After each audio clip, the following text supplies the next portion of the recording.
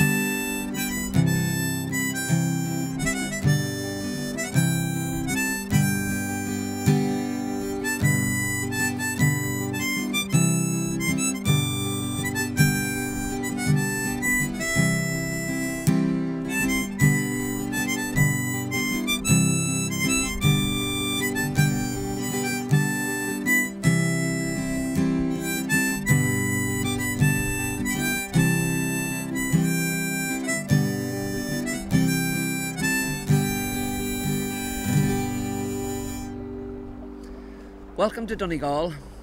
Let's tell you a bit about it. A very, very, very long time ago, a people called the Partholonians arrived in Ireland from Greece and settled in Donegal. But they were exterminated by the plague. Then came the Firbolgs, Greek slaves who escaped and came across to Ireland.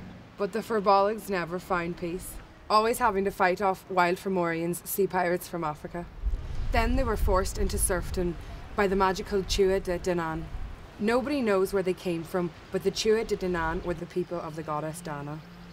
Such a great people were the Tuatha de Danann that they dazzled even their conquerors, the mighty Milesians.